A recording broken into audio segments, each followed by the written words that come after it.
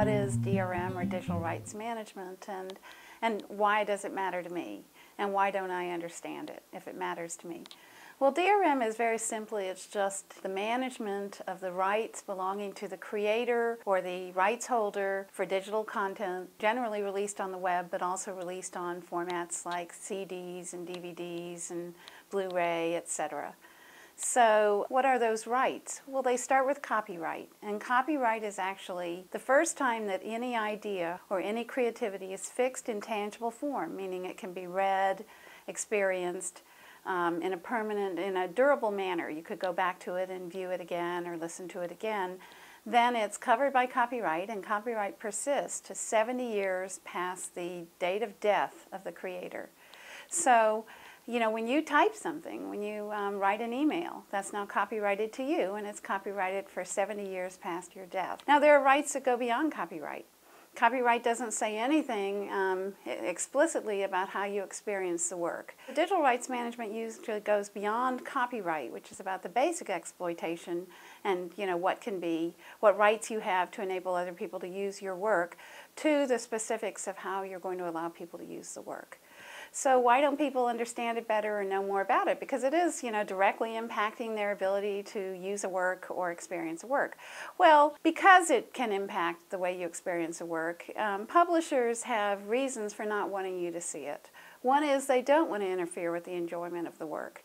If you've ever downloaded a software and you're on a trial or you're getting the free version, they'll put ads on it, they'll do something that makes you remember that they're there.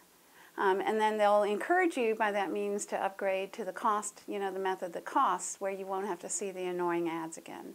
So digital rights management understands that when you pay for something, you don't want to be annoyed by being reminded that there are limits on how you can use it. So they try to hide it. They also try to hide it because sometimes they're using digital rights management in a way that's called forensics. And that is if I create a video and I want to make money off of it, I want to be able to know if I've let it loose on the web. If someone has passed it on inappropriately or is using it inappropriately or is marking it up or mashing it up or doing something with it. So I'll put a watermark, which is hidden, in the file that enables me to trace wherever that file is. You'll also see um, benign and useful uses for that same information. There's an app on iPhone that lets you listen to music and say, hey, that's very cool, and I'd like to download that, and what's the name of that song? And your iPhone app will identify the song for you.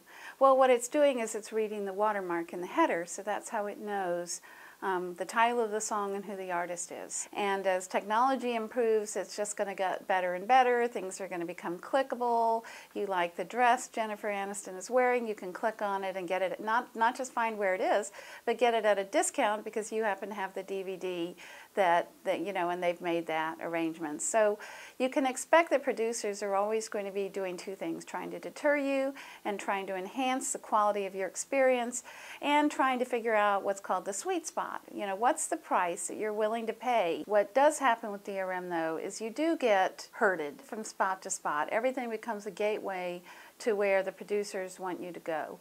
Um, when I buy a book in hardcover, I can read it in my tub, I can read it in my bed, I can give it to somebody, I can earmark it. If I want to copy every single page and violate copyright, I can do so. And the impacts are going to be pretty minimal on anybody else, but I can do so. With something like Kindle, for example, suddenly I'm limited to anything that can use the Kindle platform. So suddenly I've got a certain level of censorship and a certain level of beyond marketing. I mean, I can watch an advertisement for Spic and Span, and I can choose to buy that or I can stick with Pine Sol. Um, because both choices are there for me. But if they persuaded ShopRite to only carry Spic and Span, then Spic and Span is all I get. So advertising, I think, may move from you know, trying to persuade me that Spic and Span is a better choice than Pine Sol, to working directly with the digital distribution sites and the software manufacturers to only give me the choice that they want me to have. How do I know that I'm going to see every side of the story? What if that distributor has an agenda? Um, it's rather scary that the idea that the world of ideas, that I might be herded into a um, silo that I may not want to be in. And, and the worst of it is I may not realize that I'm being led that way.